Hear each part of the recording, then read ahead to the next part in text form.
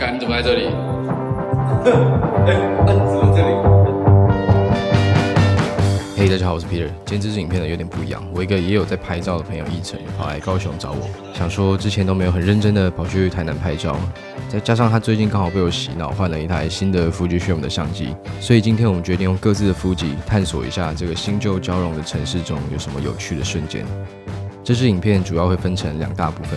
前面我们开车去台南的路上，我们会聊一下自己对于摄影最近的一些看法。后面再接回去 POP 的部分。所以大家如果不想听我们两个讲干话的话，可以跳到荧幕上的时间点，直接进入第二部分。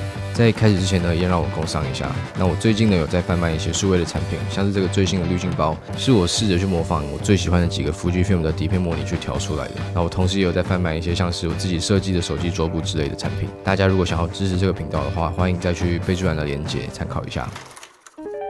你好，还有什么台南？因为台南感觉很屌，对，当然很屌。想要当肥仔，然后想说我们在开过去的路上呢，就可以录一下，聊天一下，就当 podcast 在录这样子。对，车上 podcast 还蛮有趣的是，最近他刚刚买了一台那个新的 X-E4 Fujifilm 的 X-E4，我一直跟他说哦，X Pro 三，对，很屌，很屌，很屌。然后后来就被洗到，就去买那个 X-E4 这样子，对，还蛮有趣的。有过赌的那些相机。啊，你自己觉得就是？你是什么时候开始想要买富吉的相机？在我，因为就像刚刚他讲，大家可能会觉得说，就是拍拍影片这种东西，就是什么哦，出去可以创作很开心。但当你要对到甲方的时候，其实弄久了会有点北来。你会觉得干拿相机就会给自己一个潜意识是你要开始工作，而那工作对你来说其实压力蛮大。呃，你没做好可能会被炒爆。其实我觉得人啦，在使用某不管什么器材上，都会对那个器材有个既定的状态。有可能会觉得它是拿来 for 工作，或是 for 拿来创作之类的。嗯，那因为我拿相机创作上都是什么 H3、HC、Canon 那一种，都是大台，它拿起来就招在工作。你自己有观察过，就是因为你应该也是从喜欢拍照这件事情，对，然后开始就发现说，哎，很像可以用自己的相机去赚钱。你知道可以赚钱后，嗯，然后你有发，你有在观察过你拿起相机的频率的多寡的变化吗？有，我刚开始。当然，大家起头都很兴奋嘛，有一台可能自己买的相机，像我第一台是 A 六三零零，那那时候单纯就是想要出去做创作，可能找 model 或是自己去街上街拍啊。大概一个礼拜我可以拿相机，几乎可以每天拿，我就算可能出个门五天拿，因为对我来说那个就很像是我可以在平常生活中得到一些成就感。那自从我两年前开始尝试接案之后。刚开始大家觉得哦，可以，我可以把兴趣拿来接案，很爽哎，边弄边玩这样子。但后面其实做到现在，慢慢会有一个职业的那个倦怠，是你会觉得就是因为甲方会一直给一些要求，说什么这个不好那个不好，嗯，那你就会开始对你的作品有一些批判性的那种想法。我觉得应该不是批判性，应该是你会开始很强烈的自我怀疑，对对对，就会觉得说。我是不是真的不太适合做摄影，或者我是不是真的对于美感这种东西真的不足？背后动机就不一样了，因为为了钱嘛，所以其实很多事情都是有点像硬做上去的。就算我可能拿的很好相机出去，嗯，啊，到后面就会变成干我拍不好的话，会不会被别人讲什么？或者可能之后大家觉得我拍的东西又不怎么样，就不找我接工作，就这种这种自我怀疑心态会很重。大学毕业后就用接案在过生活，那虽然就是也没有拍到什么大贵大富啊，嗯，但是生活还过得去这样子。刚开始也是啊，很兴奋，说哦干，可以用相机赚钱，很爽很爽。但是其实我觉得应该所有的接案的人都一样，就是你一定会有所谓的停滞期，嗯，因为让你觉得很爽的 case 不会一直来，大部分是让你觉得说哦这个价钱我我做这些事情我可以接受，嗯，比较少是那种说哦干我可以赚钱，然后我觉得我对这个东西很有热忱，我很想要尝试一些新的东西这样子，对。但就虽然是自己的选择啊，就是其实也没有想要指责谁，就是单纯觉得我自己在工作上跟在兴趣上，因为太重叠了，所以会觉得自己过得就是很很卡这样子。因为我现在想要往就调色这方面发展，所以我才决定说好，就算我的兴趣跟工作是在同一个领域，但是我可以尽量把它分开一点的话，我就把它分开一点。嗯，对。OK。那你觉得就是自从你买了富士的相机后？它改变了你什么东西呢？因为它毕竟也是一台相机嘛。那它真的有大家说的，就是这么有魔力吗？除了什么直出好看啊，或是什么长得比较复古之外，你觉得这台相机带给你什么样的改变？OK，好，先先声明，这个没有富集台湾赞助，一切都是我自己花钱，两万块自己花钱。对，当初我买的时候，其实这台叉一 Four 我想了大概快两个月。我看这台叉一 Four，它让我很 惊，就是觉得很很想买的点，是因为通常我在上面看到评测 YouTube，他对于这台评价就是，它是一台可以让你随时随地拍照的相机。嗯，对，这这个我觉得很重要，就是因为我我这个工作会让我变成说，有时候出去，我我甚至手机也不想打开拿来拍照。对，但是这一台它的，就它它有兼具一般相机，就是一般的该有的都有。对，该有都有。然后它又不会过于的工作，它不会让你拿起来就有一种，哦，它要开始做一些什么，我等下回去还要修图看。嗯我觉得它可以在我很放松状况下，让我创作还是有水平之上。呃，对，所以我很喜欢这一台，原因是这个。怎么会突然跑来高雄？我出台北之后，昨天直接飙过来，下班再飙过来。我我一路上开过来，真的是没有一种觉得说哦还要下来很北来的感觉。有一半的原因是因为，就是我很久没有做自己的创作。呃，另一个点是这台夫妻真的欠拍啊，就很像是我买到一把枪之后，我还在我还在一个不能开枪的地方那边玩，哦而且玩不出特效，不如我拿去拿什么靶场打，台单就很像一种靶场，然后我夫妻是我的 AK 一样，我跟你讲，嘣嘣嘣一直打一直打，还不会被骂这样。干，哎干，我觉得台北真的天气很很烂。对对，台北的天气不适合拿来做，我我觉得这个就大家见仁见智啦，因为很多人都说在台北很好拍，只是我自己针对的点是说，我待在那个城市真的太久了。就是我觉得，你觉得你你的你的思想在那边住太久，你已经看不到新的对。我脑袋已经有一根毅力我已经对这件事情已经有一点点麻痹。嗯嗯，对，所以我想要想说可以转换看看，因为毕所以所以来跑来南部这一趟是你的救赎之旅。对，真的是有点像是不管是救赎我的摄影还是我的心态啊。我讲师说要来拍照啦，他 相机没有带，先开始买了这个。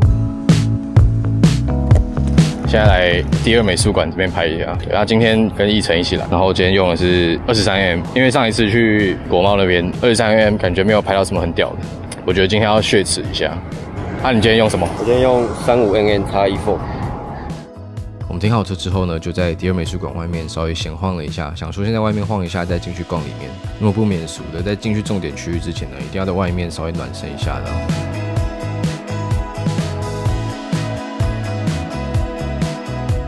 那么第二美术馆外面呢，其实有很多像是这种露天的阳台的部分，它有分非常多不同的层哦，所以大家可以在这边晃一晃。哎、你可以从左边的楼梯，好像就是冲刺，然后一次跳下来哦。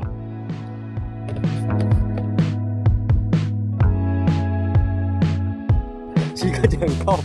我那个时候看到了这个阿北在这个角落休息，所以我刻意等了一个只剩下他的瞬间，然后拍下了这个剪影的照片。那这张照片呢，其实我个人是蛮喜欢的，应该算是我在美术馆这里拍到最喜欢的一张照片。在户外的区域探索结束之后呢，我们进去美术馆逛了一下。后来出来后呢，因为肚子突然觉得有点饿，所以又去吃了附近的一家凉面。凉面吃到一半的时候，原本还在录缩时哦，后来看到旁边的墙壁上产生一道非常有趣的影子。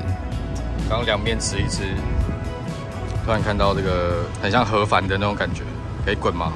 谢谢。虽然我拍照当然没有他那么厉害，但是我觉得在外面呢，可以遇到这种特殊的光线，其实还是会觉得很不错。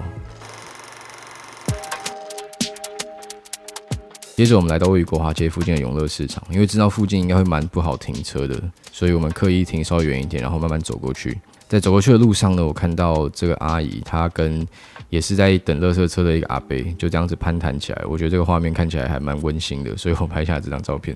从另外一侧拍过去，阿伯的姿势跟后面的光影呢，也形成一个还蛮好看的一个照片。我觉得拍完这张照片，我们开始踏入人潮比较多的地方。然后那个时候其实已经是接近三点多，太阳越来越斜了。然后我看到这个凉面的摊贩呢，上面挂了这个营业中红黄交界的布条，跟当时的光线呢，形成一个非常强烈的对比。接着我们弯进去，应该就是传说中的永乐市场。走进游乐市场后，稍微往里面探索了一下，回头的时候发现，发现这个正在等客人上门的阿婆。我个人还蛮喜欢这张照片，因为外面其实非常的亮，但是市场里面其实还蛮昏暗的，所以就会造成地上这种非常自然的一个渐层。整个画面的光源呢是从人物的背后开始出来的，所以会形成一个蛮特别的一个轮廓的感觉。拍完这张照片呢，我们走上了市场的二楼。上楼之后呢，我看到有两个人在这边聊天，然后也是这种光线从正后方出来的一个画面，然后拍下来这个我个人也是蛮喜欢的这种轮廓的照片。我们继续在市场里面探索，发现这里其实真的是还蛮 O G 的。哦二楼有蛮多摊贩，而且看起来也蛮多是真的有住人的地方，所以我们就没有在这边待太久，怕打扰到别人。那我们下去之后呢，继续在比较多摊贩的一楼继续做探索。然后我发现了这个阿婆理发厅里面正在剪头发的客人。那这个理发厅的光线呢，是从正上方打下来的，所以其实。就跟看很多电影会打那种顶光是一样的感觉。离开市场的本体之后呢，来到外面有点半室外的空间。这里的屋顶呢是用那种遮阳布所拼出来的，所以会形成这种光线漏进来的画面。然后我觉得这种斜射的光线呢，真的是非常的好看啊，怎么拍都拍不腻。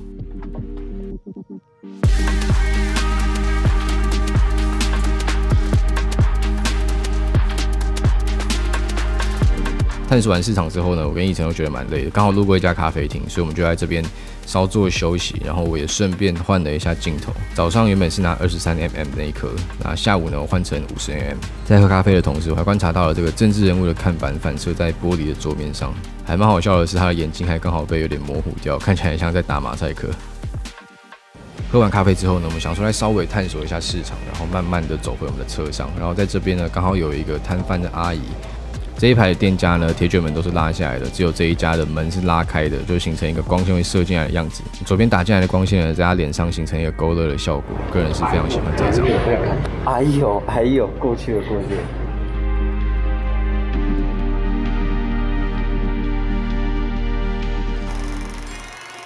探索完了永乐市场之后，我们来到了台南新的图书馆。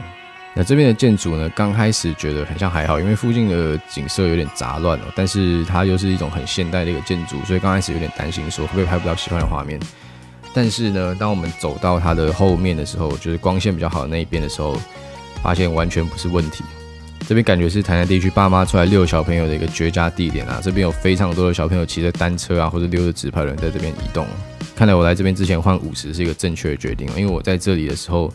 因为使用这一颗富界五十，就是等效七十五 mm 的焦段呢，其实可以在这里把一些不必要的背景都给去除掉。像是我在这边就观察到这个建筑的外观呢，其实是非常整齐的一个直线的条纹。然后刚好呢有一个底其实脚踏车要经过，然后这个长廊的这个延伸感呢，加上后面的这个屋顶，就把它形成一个框框，把它框起来的感觉。那我们绕到另外一面后呢，这个时候刚好是有一个妹妹在这边溜直排轮。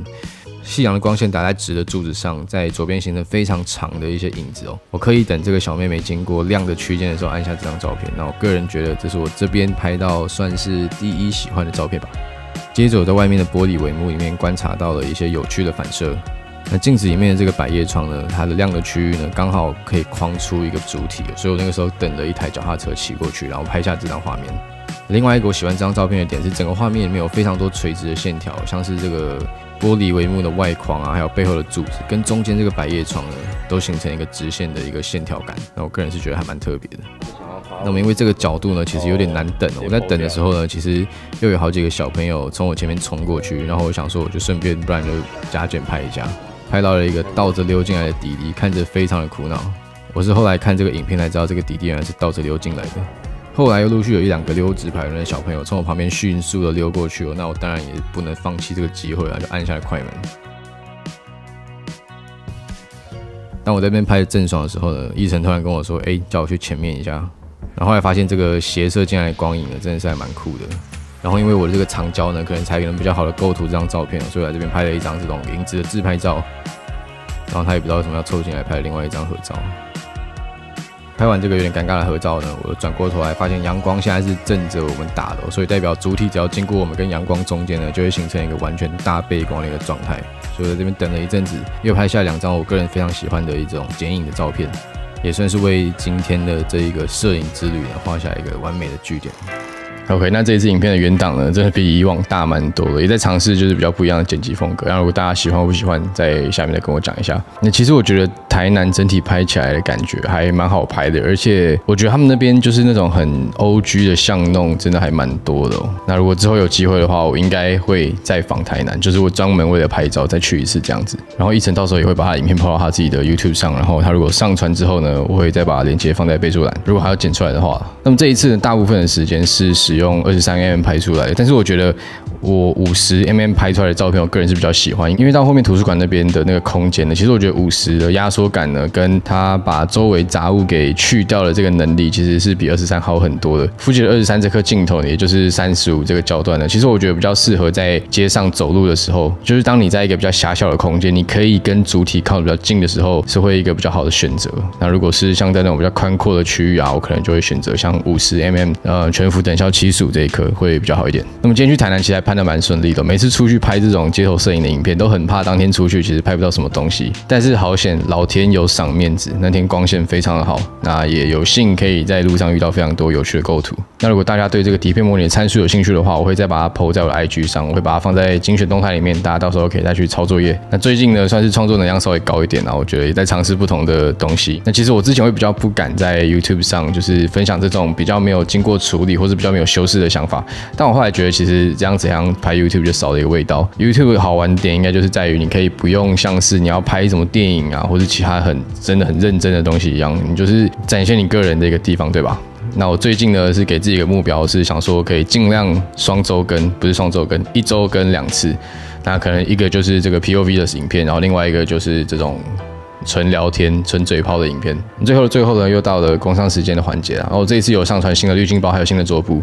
然后大家如果有兴趣的话，再去看一下。那这个滤镜包比较特别的是，就是因为我知道不是每个人都有富吉的相机，但是如果你想要这种底片色调的话呢，你可以参考看看我推出的这个滤镜包。我会再把购买的链接放在备注栏，所以如果你想要这个滤镜包的话呢，那欢迎去下面支持一下。没有的话也不要觉得压力很大。那么最近呢，也开始陆陆续续有一些朋友开始购入我这些数位的产品，那真的是由衷的感谢，好不好？那每一份虽然就是一点点钱，但是我觉得呃算是给这个我们这种就是拍影片，虽然可能没有到娱乐给到大家，但就是至少在产出内容，我觉得算是一个很直接的回馈。那也是一个很直接的鼓励。